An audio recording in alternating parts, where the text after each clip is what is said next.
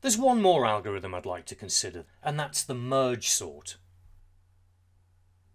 The merge sort, of course, sorts the data in a list. It takes a divide and conquer approach.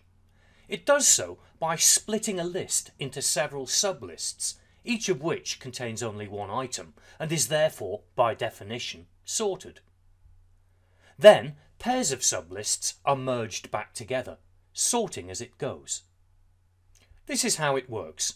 We have a list which needs to be sorted. We split it into two. We then split each sublist again. And then we split each sublist again. We now have eight sublists. Each sublist contains only one item of data, so each sublist is sorted. Now we start to merge pairs of lists back together again, sorting as we go.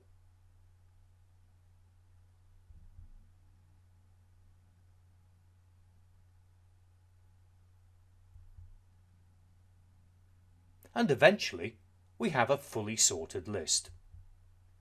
Let's have a think about the merging process, which is the most expensive part of a merge sort.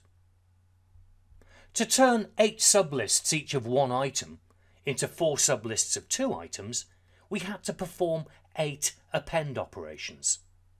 Then, to convert four lists each of two items into two lists of four items, we had to perform another eight append operations. And then finally, we performed another eight append operations. So we've performed a total of 8 times 3 append operations. So let's derive a big O time complexity from this. We've seen that if n equals 8, the merge sort does n times 3 append operations.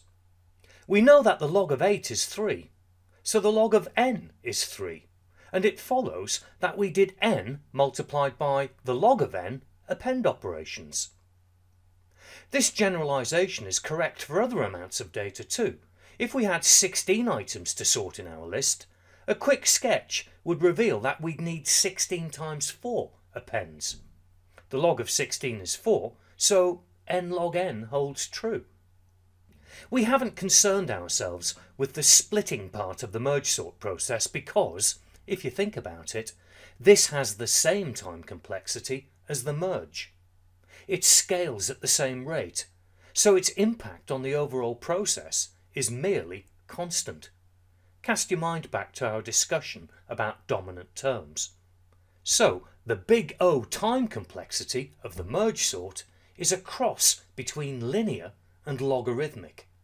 We can call this linearithmic. And in big O notation we write O brackets n log n.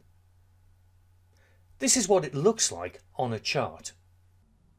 And any other algorithm with n log n complexity can be illustrated with a similar looking chart.